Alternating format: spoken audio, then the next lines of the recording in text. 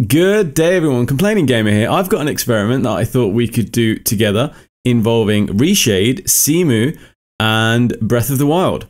So, what is Reshade? According to the website, Reshade is an advanced, fully genetic post processing injector for games and video software developed by Crota. Long story short, you can change the visuals of your games.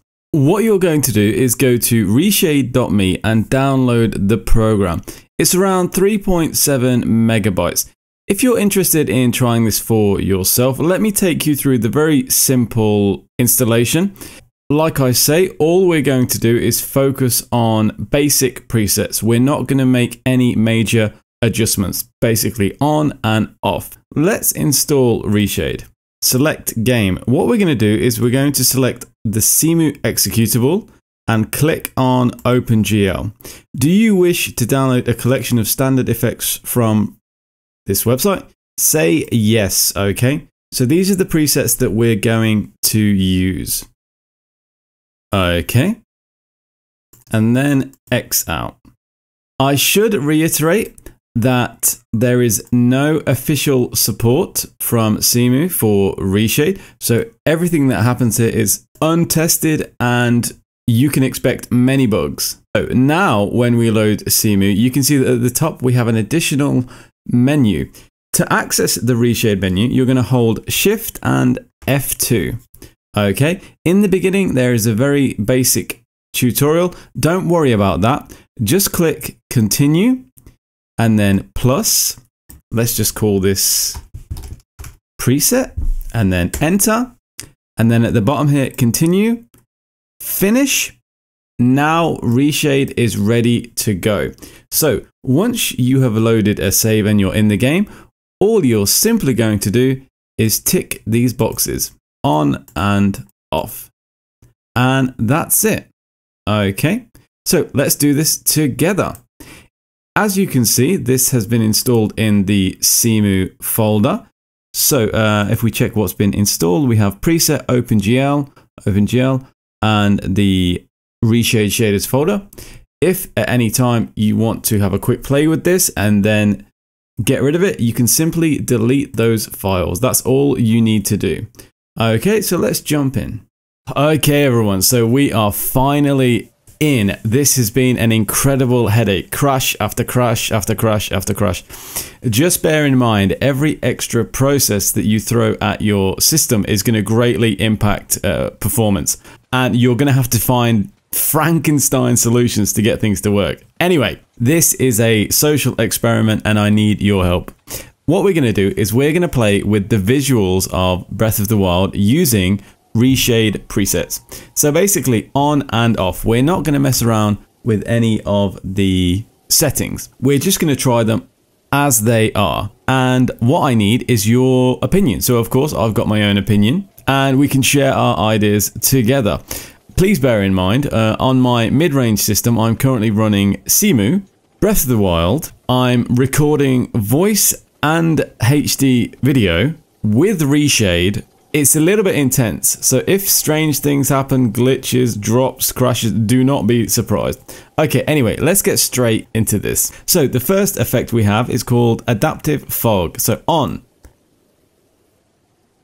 Oh wow, beautiful. I think that's the fog of nightmares.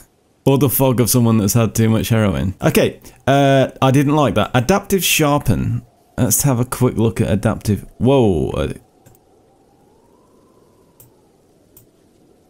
Okay, that's a little bit over the top. That's a bit too much for this particular style, in my opinion. Remember, please do watch either in 720 or 1080 and go full screen so you can actually see the changes. Um, ambient light. Ah, okay. Quite a light, quite a light touch. So on, sorry, off, on. Um, not bad. But it doesn't really affect the overall washed out um, colours in my opinion. Bloom. I'm not seeing much of anything from Bloom. Okay, I'm not interested. Border. Nothing. CA. CA. Oh wow, that's that's a bit of a 70s TV vibe. Not really interested. Cartoon. Cartoon.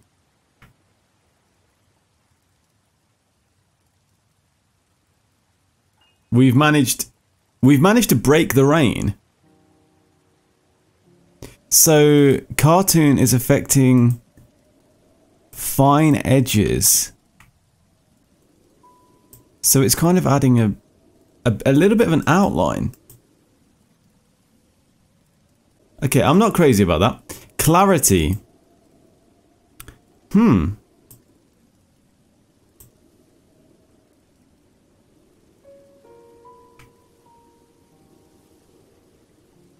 I quite like clarity. I quite like what that's done to the image. As I said before, the Frankenstein scenario has led to this. I'm, I'm currently at 1 FPS and cheat engine is set to times 20 speed. Don't don't ask me why. Um, that's what worked. Yeah, I quite like clarity. It's not overly harsh. It's not too sharp. It adds a little bit of uh, depth, a little bit of color. Color matrix. Whoa, everything's gone. Everything's gone a bit blue. This is kind of gritty. Gritty Breath of the Wild. Yeah, maybe not. So maybe this will be an interesting setting as I think at times the game can look a little bit washed out.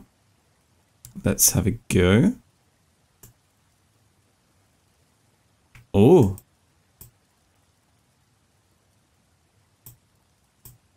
Not bad at all, in my opinion. It does look very similar to basically a saturation setting.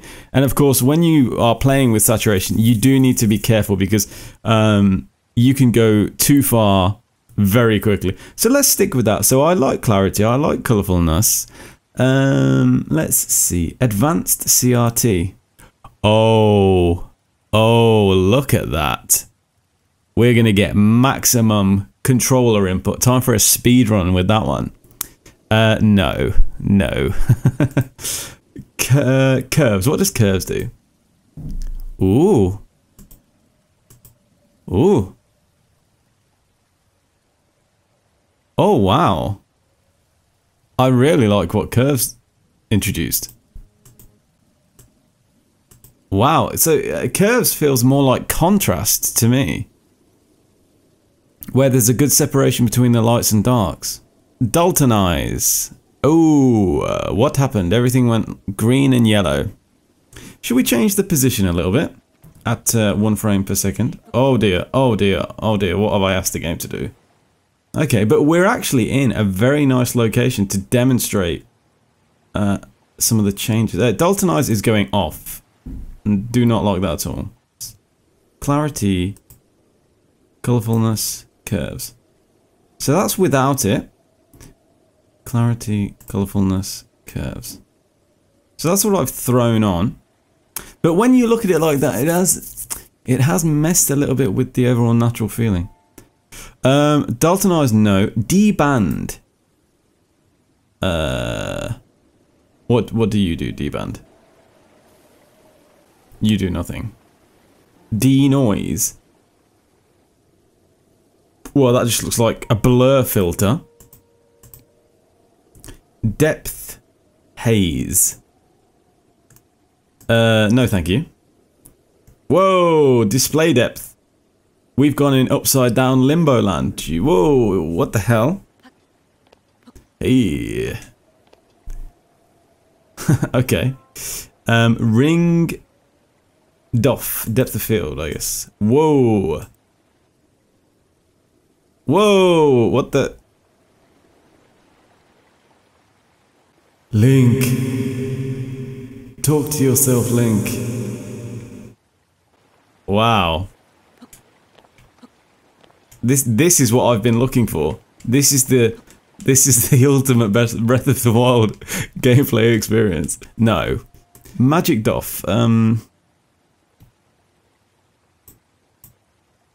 That's not so bad, but it's a bit random where the focus is. Um, what? GP65CJ042 DOF. Hey, no. MatsoDOF. No. Okay, forget the depth of field. DPX. Oh! I heard you like green and blue, so I gave you more green and blue. No. Emphasize. Oh, wow. This makes perfect sense. I really want to emphasize the top of my helmet. Film grain, is that a subtle effect? I guess, forget that. Film grain 2. Don't see anything. Filmic Pass. We have literally created Zelda Breath of the Wild anime. Look at that. That's that's kind of crazy. And that looks cool if it was like a cartoon, but I'm not I'm not going to play that way. But yeah, Filmic Pass. That's cool. Zelda, I'm coming. Um, mode one. Uh, no. Mode 2. Uh, mode 3. You see, sharpen is always a risky business because all it does is highlight bad edges, in my opinion. FXAA. Let's go back a little little bit. One frame per second for the win. Let's check this uh, slate tablet wall thing. Can we see what's going on here? I can read. Okay, so we're getting a nice change of weather. Moving on, Gaussian blur. Oh man, if we mix that with uh, Filmic Pass. Senpai! Wow, look at what look at what we've created there. Anyway, uh, Gaussian blur can go, Filmic Pass can go, HDR, so high dynamic range. I wonder if with curves, colorfulness, and clarity, we're causing issues with the HDR because we're uh, then now we're overly emphasizing everything.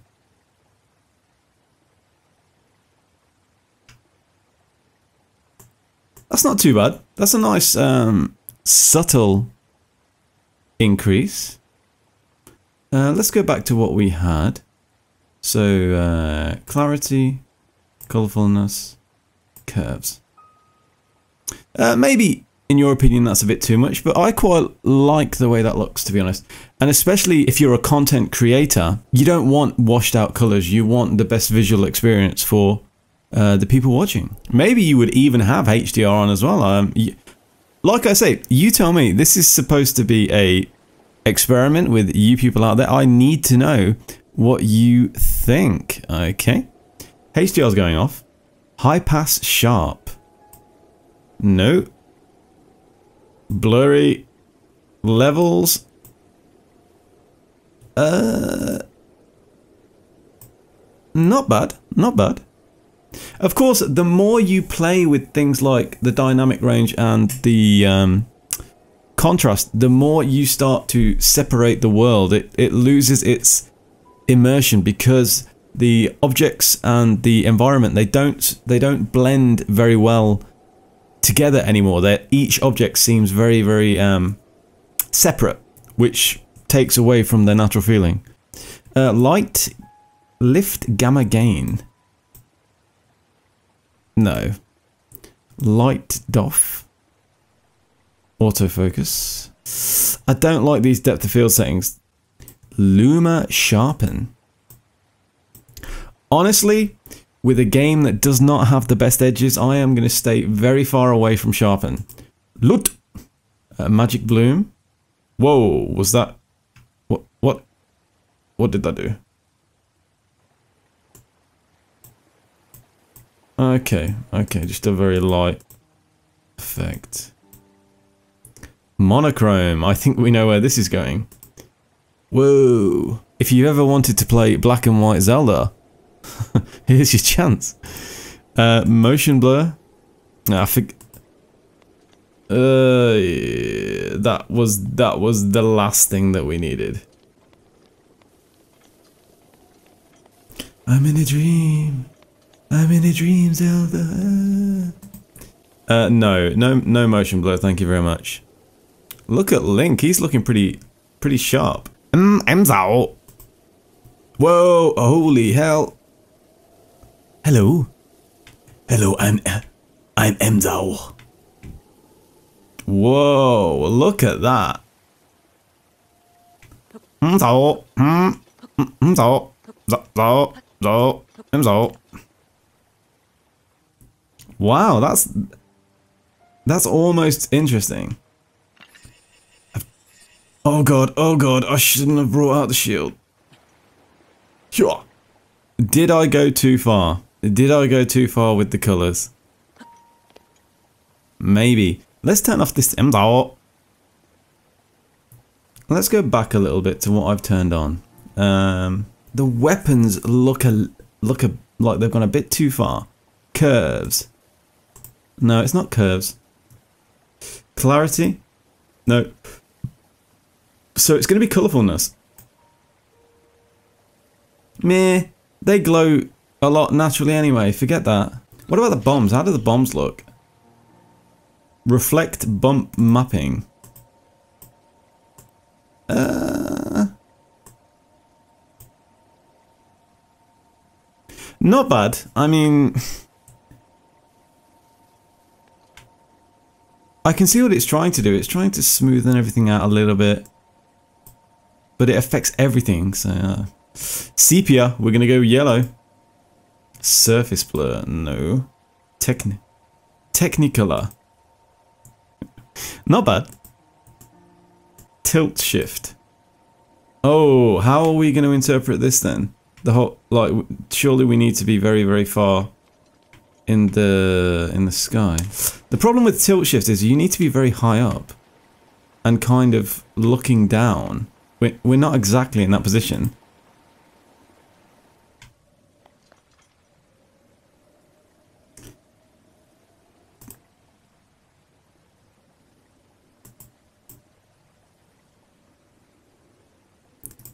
Vibrance. We do not need any additional color. We, we are colored out, I think. Vignette. So this should be a nice little shadow around the edges. Yeah, not bad. You know, a very a very subtle vignette is always a nice little touch. But we're playing a game. We don't we don't need that. Do we have any more? Okay, everyone. So there you go. Um, I literally went through every default preset that is recommended when you install Reshade. So it's as simple as install it. Um, to get the command up, it's Shift plus F2. If you feel like experimenting, be my guest. I imagine you're going to bump into a lot of different issues. So in the end, what did I pick? Remember, I just wanted to keep this simple for myself and for everyone else with a quick on and, oh yes, back to the fog. So natural, so natural. Just to keep it simple for myself and everyone else. So yeah, basically you can install, you can install Reshade and then just start going.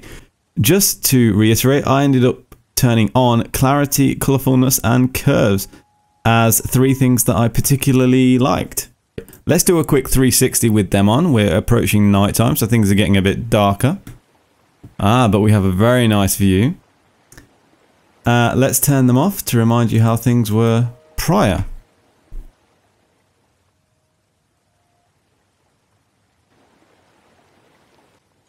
So there you go everyone. I hope you enjoyed the video. Please interact. Give me your ideas, your thoughts in the comments below. I have been the Complaining Gamer. Please feel free to like, comment, subscribe, and I will catch you next time.